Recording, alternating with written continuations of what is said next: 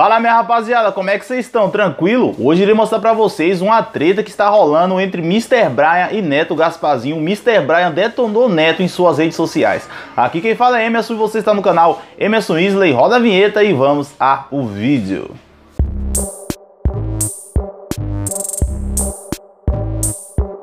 Pois é, minha rapaziada, parece que a treta entre a marca Gaspazinho está difícil de acabar. Mr. Brian usou suas redes sociais e detonou Neto Gaspazinho, falou um monte de coisa. O vídeo é bastante grande, então visto isso, não vou falar muito aqui pra vocês, não vou me aprofundar muito no assunto.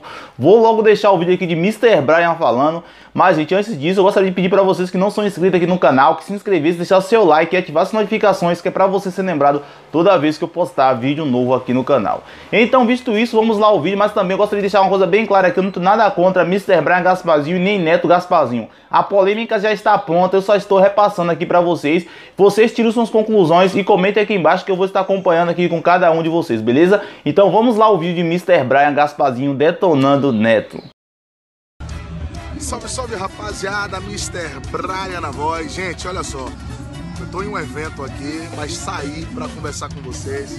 Na verdade, muita gente tava querendo que eu me pronunciasse, eu evitei me pronunciar, mas aconteceu uma coisa e eu fiquei super triste, não vou dizer nem chateado, fiquei super triste, entendeu, com essa pessoa, é, porque eu tô vendo que isso já é desespero, já é desespero, tá? É, é falar sobre a banda Gaspazinho, a marca Gaspazinho, o Gaspazinho Mr. Brian, o Gaspazinho, o Neto Gaspazinho, ou qualquer outro, outra pessoa que use essa marca. Gente, olha só, é, é muito fácil de entender, é muito fácil de entender. Gaspazinho é uma banda como qualquer outra banda. Muita gente associa o Gaspazinho ao cantor, né? Mas na verdade é uma banda que passou cantores nessa banda como Parangolé, como foi o Pagodarte, como foi entre outras bandas aí, é, Exaltação, como vocês na verdade sabem. E o que acontece? O que acontece é que o ex-cantor, o cara que eu devo respeito, é um cara que eu tenho que respeitar como ser humano, porque ele também teve a sua história, você tá entendendo? É, quer viver do passado o tempo todo. É, quando ele decidiu sair da banda, eu tive o convite de cantar nessa banda no ano de 2015. Então, gente, com esse, esse papo que ele fica jogando aí nas redes, que querem ser ele, que não sei o que, eu até entendo que tem pessoas que não tem nada a ver. O Brasil é grande, então pelo fato do Brasil ser grande e ter a dificuldade de levar a música para certo tipo de lugares, tem, tem gente que se aproveita, tá entendendo?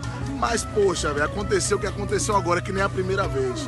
Eu já tinha conversado com ele, inclusive ele entrou em contato comigo, queria deixar bem claro para vocês que ele entrou em contato comigo porque ele conseguiu autenticar o Instagram dele.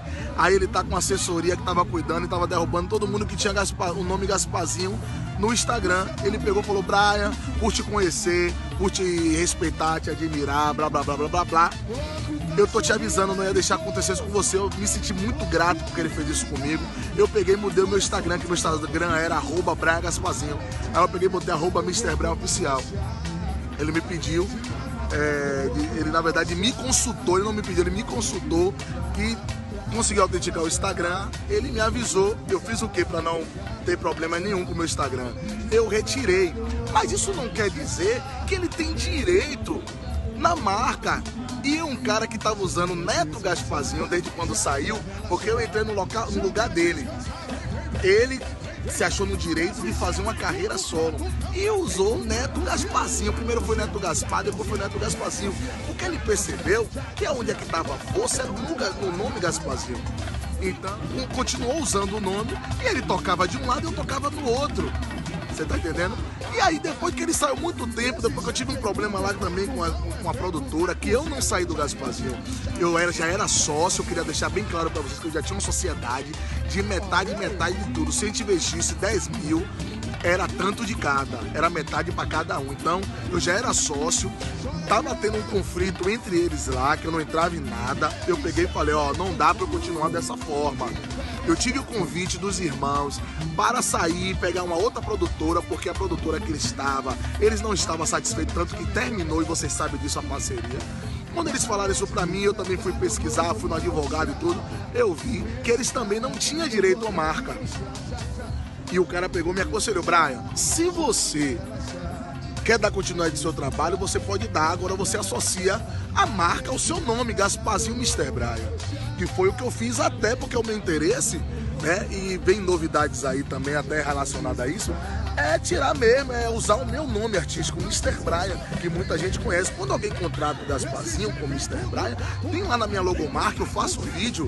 O povo não é idiota, o contratante não é maluco. Então quando o contratante me contrata, ele sabe com quem ele está contratando. E muitas das vezes até a conversa é diretamente comigo. Então eu já toco nesse, em vários lugares, entendeu? E o que, é que, o que, é que foi que ele fez? O Neto chamou, que creio eu que foi ele, pela, pelas mensagens que eu vou mostrar aqui para vocês, falou, chamou um contratante do Mato Grosso para dizer que estava contratando uma banda falsa para lá. O cara respondeu alguma coisa a ele que ele falou: ah, a vida não prova nada, não sei o que ele Parará.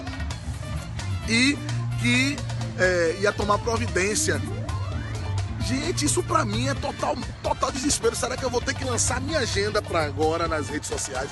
E ele vai pegar o celular, o celular, ou ligar ou falar no zap com todos os contratantes de todos os shows que eu fizer, pra ficar dizendo isso na cabeça dele, porque você autenticar o Instagram é uma coisa, ele prova que ele canta no Gasparzinho pela, pela televisão que ele já gravou, pelo DVD que ele também tem, como eu também posso provar. Eu posso contratar uma assessoria e fazer a mesma coisa. Você tá entendendo? Então, velho, eu fiquei super triste com essa situação dele, que não é a primeira vez que ele faz isso.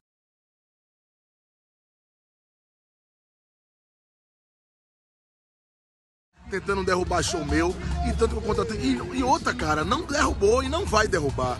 Eu tô com uma turnê linda agora para Mato Grosso. Você tá entendendo? Como outros lugares, como eu fiz uma turnê Piauí, Maranhão, Pará. Quem viu, quem acompanhou minhas redes sociais viu. Eu tô aqui trabalhando, meu brother. Eu sou um pai de família, eu estou aqui trabalhando, levando o pão de cada dia para casa. Tem pessoas que dependem do, de mim para também levar o pão de cada dia. Então, poxa, como eu já falei a você, eu só quero respeito, cara. Respeito. Respeito. Se você se garante, e você se garante, bem, faça o seu, bem. Eu vou fazer o meu. Você vê, infelizmente, vou te dizer uma coisa, você vai ter que aturar ainda um pouquinho. Você vai ter que aturar isso aí ainda um pouquinho. Por quê?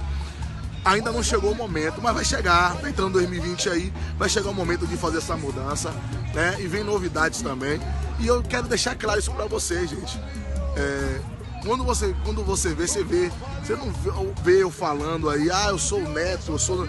Então ele quer dizer, ele voltou a usar o nome Gasparzinho porque ele sabe da luta que tá ali. Acho que ele pensou assim, pô, tem bandas falsas usando. Tem ex-cantores também usando, como a MC Tigrão, a marca. Eu que estourei a música, eu vou usar também. Gasparzinho só e vou dizer que eu sou Gasparzinho mesmo e vou jogar nas redes sociais e vou fazer aquilo. Tanto que ele nem tocou no meu nome, você vê que foi algo que eu percebi que ele não tava querendo problema comigo. Mas depois que eu vi esse vídeo, ou depois que eu vi esse print dele procurando um contratante para querer me queimar, cara, é demais, é demais. É, como eu falei aqui, é, banda não é casa de ninguém. Você tá entendendo? Eu tenho que respeitar a história dele. É um cara que estourou no Brasil.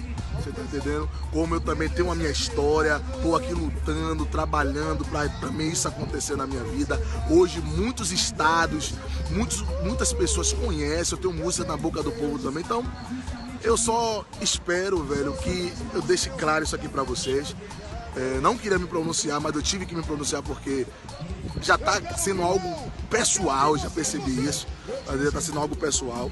E deixa ele, eu vou falar uma coisa a você, irmão. Se você continuar fazendo isso, ficar brigando, porque não sei o que, você não vai para lugar nenhum, parceiro. Porque você tá mostrando que tá vivendo do passado, não tá com novidade, não tá lançando nada novo, bom, e quer viver do passado, porque você vê, todo dia eu tô lançando um CD aí, porra, ao vivo, de show, cantando músicas novas, uma nova pegada, uma nova roupagem. Então eu acho que é isso que você tá precisando, mano. Desapegar do passado, o que foi, foi. O que foi, foi. Você, eu tenho o direito de cantar a música porque é uma música que estourou como qualquer outra do sucesso até passado, Lepo Lepo, que muita gente até achava que a, a música era do, do Gasparzinho, a música do Piscirico. Estourou e você tem que cantar. Somente, cara, mas todo mundo sabe quando contrata Gasparzinho como Mr. sabe que sou eu aqui, ó. Sou eu. Então quero deixar claro pra vocês aí, galera, e fechou o papo, tamo junto. Pois é, minha rapaziada, como vocês viram, a treta tá difícil de acabar. O espaço está aberto aqui para Neto Gasparzinho, caso ele venha se pronunciar diante o caso. Eu vou trazer aqui para vocês, então vocês ativem notificações. Instante também eu vou trazer outra polêmica envolvendo Neto Gasparzinho, que ele detonou Robson Júnior Gasparzinho também, que é da de Oliveira. Então essa treta tá difícil de acabar, tá uma polêmica brava aí. Então ative as notificações que daqui a pouco vou trazer outro vídeo aqui para vocês, beleza? Então aqui quem fala é Emerson, muito obrigado e até o próximo vídeo.